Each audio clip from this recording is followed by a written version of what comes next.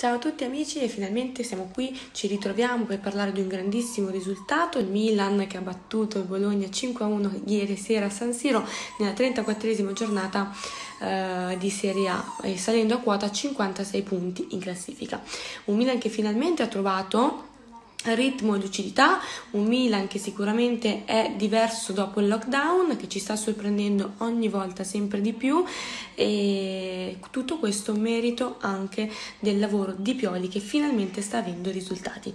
Io vi saluto e continuiamo i nostri festeggiamenti e sempre ricordatevi come, come dico ogni volta, forza Milan.